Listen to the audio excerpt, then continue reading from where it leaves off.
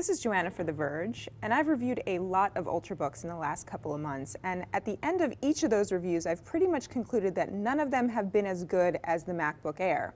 But I've realized that isn't a totally fair comparison since those that are buying an Ultrabook are looking for a thin and light Windows 7 PC, and the Air doesn't run Windows 7, at least not out of the box. So here I've decided to load the MacBook Air up with Windows 7 and see how it stacks up against the competition. From a pure hardware and design perspective, Apple has made one of the nicest machines on the market, which is why we've seen so many of the other Ultrabook makers trying to literally copy it.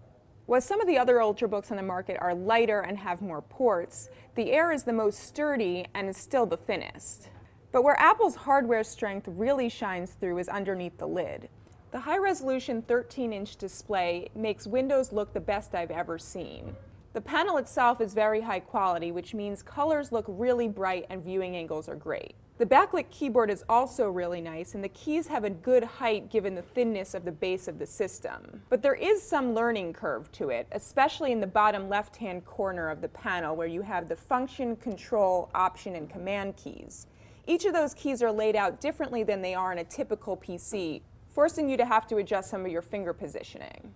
But the amazing performance of the touchpad might make up for some of those keyboard quirks. If you've read any of my laptop reviews in the past, you've known that I've had a lot of issues with Windows 7 laptops and their touchpads. Lots of PC manufacturers have tried to integrate the buttons like Apple, but have really failed at it. Apple, on the other hand, has mastered getting the touchpad to work perfectly with Windows 7. In Boot Camp, basic navigation works perfectly, and two-finger scrolling is more fluid than I've seen on any Windows laptop out there.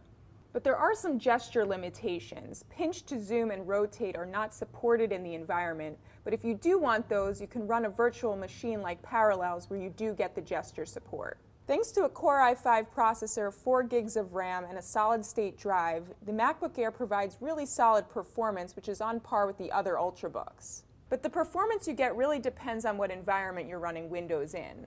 I saw better performance in Boot Camp with applications opening quicker than I did in a virtual machine like Parallels. That said, you do see the Air trailing the other Ultrabooks in terms of resume and boot times. It took a full minute for Windows 7 to boot in Boot Camp, and around the same in Parallels, where you have to boot OS 10 first and then get into Windows 7. Up until now, I know it sounded like a really wonderful experience, but there are two factors that hold the Air back from being that perfect Ultrabook. The first is battery life. In OS 10, I got six and a half hours of runtime on our Verge battery test. But in Windows, both in Parallels and Boot Camp, I got four and a half hours. That's really disappointing considering most Ultrabooks out there are getting at least six hours.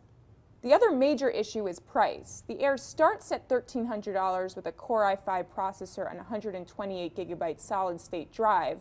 But in this case, you've got to also buy Windows 7, which costs around $120, which puts you just north of $1,400, which is a lot of money, especially when you consider the battery life setbacks. And that's really it. Apple has created the best Ultrabook on the market when it comes to hardware. The screen and the touchpad are second to none. But when it comes to battery life and price, it's harder to recommend than I thought.